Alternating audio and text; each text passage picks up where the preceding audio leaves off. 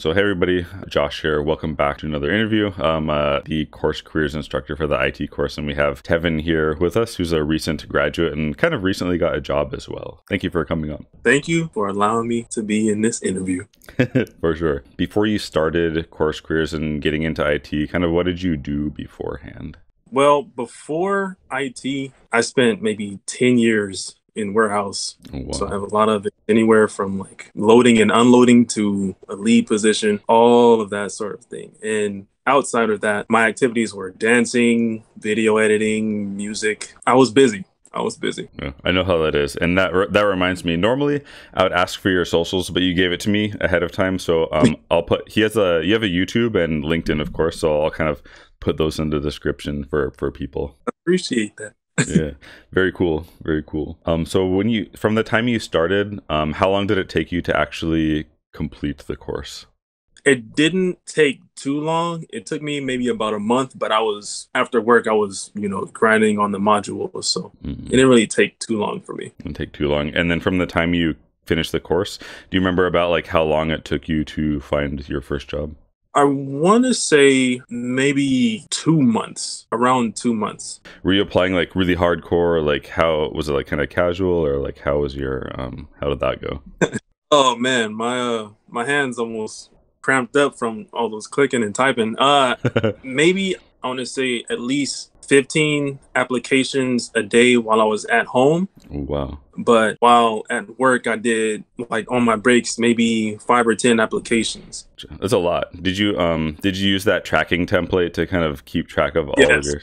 Okay, there's probably that thing is like full, probably. It worked while being at home, but then while I was at work, I'm like, I did so many applications, I forgot to keep track of them. So yeah, I must have done maybe 300 plus by this point. Dang. Did you get did you have like um a lot of interviews or how many do you remember like how many interviews you had before you I've had maybe two interviews. And you just got hired like on the second one or how, how did that go? um and I you don't have to answer this like straight up, but like what what kind of company did you end up working for, or like even where did you work if you're comfortable with that? Or it's more like a a, a smart shelf um, company. So I don't know if you notice like like the prices on the uh, on the shelves at grocery stores mm-hmm. are now LED. So they all have monitors, and as soon as you step toward them, it shows the price, you know, and different things like that. Mm-hmm. It's pretty cool the way they the way they demonstrated everything. It's kind of it's kind of like a um, automated store. Okay. So there's no you just scan a QR code,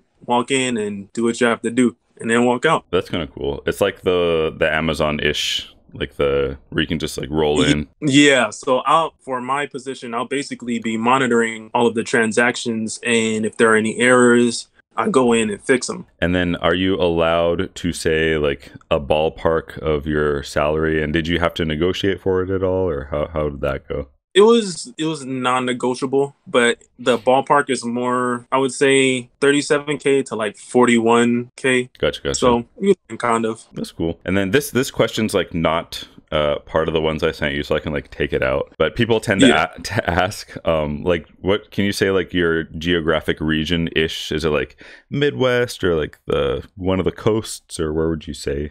One of the coasts. Gotcha, gotcha. Cool, cool, cool. Yeah. Did you have a did you have any kind of experience with IT before course careers or was it kind of like your own kind of messing around with stuff or Yeah, it was more so figuring out like troubleshooting. So it wasn't like any vast knowledge or anything of the sort. It was more like let me Google this and then see how I can fix this or turn this type of uh green brightness that that type of stuff. Yeah that's that's kind of how it was for me too. I i avoided it for the longest time but i was kind of good at computers so i would just kind of like i could use them but i wasn't like a professional you know so that that resonates with me. Uh, was there any part of the course that you found like particularly helpful when it came to like interviewing and job hunting or anything stand out in your mind in that regard? Basically the interview portion of the course that it really helped um i don't know if you want me to give out like a yeah. certain tip yeah. or yeah you can you can. So basically i always had a problem with interviews. So i was always the one that would jumble my answers but the tip that you gave about asking them, can I have a second to, you know, process and allow my answer to formulate, that helped so much to the point where people were like, wow, I never expected anybody to answer like that. Or like, this was actually the perfect answer we were looking for. Yeah, that really helped. Yeah, that, that's good to hear. I'm glad to hear that. Um, I think, where did I learn that? I learned that when I was, I was like trying really desperately to study for like my software engineering interviews. And I learned that from someone. I think it might have been Clem Mihailescu, who's like another YouTuber. And I was like, this, this works pretty well. So I tried to like put that in the course. Yeah. yeah. Oh yeah. Yeah. It's, it's pretty good. But yeah, that's, that's good to hear. And then, um, for if anyone's like interested in the course, is there anything that you would warn them about? Like, oh, this part is like hard, or you want to maybe do this before enrolling, or any kind of any thoughts like that? Well, I, I think during the uh, beginning portion, or I think it's before they actually start the course, you have a free introductory course. I think that kind of explains everything um, in general. So I don't think people would really, I don't think they should hesitate to jump into the course. Obviously, the information that you give is, it's enough for the person to make it into different um different jobs different job uh titles i would just say watch out for the subnet masking oh, yeah. i think that that's probably one of the toughest for it was it was tough for me but it was also one of the things that i enjoyed the most oh yeah. that's good to hear and i agree that's probably the most conceptually difficult part of it because we don't think in binary so it takes time to get used to you know? yeah yeah yeah Cool, cool. Do you have any additional advice for not even necessarily for course careers, but just somebody who wants to get into IT, like having studied and made a resume and like all this stuff? Do you have any advice for anyone wanting to get in, like any kind of tips or anything like that? In regards to the course careers, I would say do it. You're it's not a lot of courses out there or like boot camps or what have you that are this reasonably priced and just trying to get into the field like I was, you just you just have to do it. Even if you're taking small steps, like looking at people such as Professor Messer, different people from IT related places, learning what you have to learn. There's a lot of stuff to learn, but like even the basic things, uh, TCP, FTP, even a little bit of like command prompt. Every little step will bring you towards your goal. Yeah, that's really well said. And to talk about the point of looking other sources like Professor Messer, um, I I really recommend people to do this. Like even all throughout the course, at the end of the modules, I'll say like, okay, now go and like Google these terms or search YouTube for these terms and see if like if you understand everything that they're saying, if it matches mine, or if you learn something new. Because it's really good to hear it from many different sources, especially for hard stuff like you said, TCP and like IP addressing. I had to learn that from like four or five different sources, honestly, when I was learning it the first time. So yeah, yeah, yes, yes, yeah, that's very well said. And um, going forward, like, what are your plans? Um, are you just going to work in IT and then try to spin up some YouTube on the side? And do you want to get into cloud or like kind of what are your goals and stuff? Honestly, I want to do YouTube on the side, but um, not only with IT related material, but family matters as well. Mm. I do have a family son as far as like my career seeing how vast IT is I I'm torn between cloud and cybersecurity. I do want to do cybersecurity because um, there's a lot of things out there happening to people, and it's unfortunate. Um, people are being uh, taken advantage of mm-hmm. you know, so many scammers out there. So I make it a point for myself to want to take care of my family and not only my family, but everyone around me. Mm-hmm. So I think cybersecurity might be something I'm really looking into. That's good. And the kind of good news about that is if you go to cybersecurity, you'll kind of get pulled into cloud anyways. And if you go to cloud, you'll get pulled into cybersecurity anyways. So you can just like probably, you know, end up okay. yeah.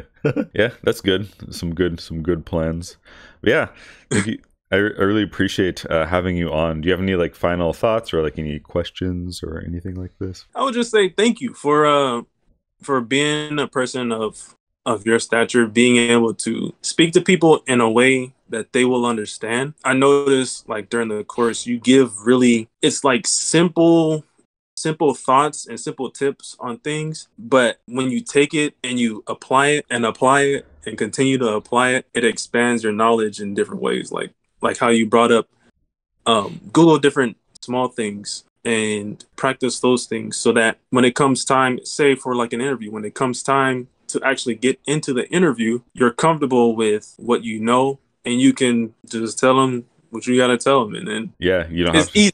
Yeah, yeah. It's really yeah, it's kind of like um, you know, for example, you you pour a lot like if you go to the interview and they're like, "Okay, if you final question or whatever, you need to pour this glass and like fill this glass up with water." And it's so easy for you to do right cuz you've done that like a thousand times in your life. It's kind of like the same yeah. the same concept. If you do something like so many times, it just becomes boring and kind of second nature-ish, so then it's like you don't have to think too much, right? And be nervous. Yeah. Yeah. Yeah. Yeah, that's like super super important. I can't stress that enough. I try to like say that in my channel but i don't know. I think people are getting tired of hearing it. Nah man it, it works you know? Yeah. so i think that would be it. Just thank you for for continuing to be you and you know wanting to help people because that makes people like me want to help others and do the same. Oh thank you. I appreciate that a lot follow follow him on on YouTube or sub subscribe to Tevin. I'll I'll put that thing on the screen again and then I'll put it in the the description as well. All right, yeah, thanks so much. We'll see you in Discord. Thank you. Thank you. Mm-hmm.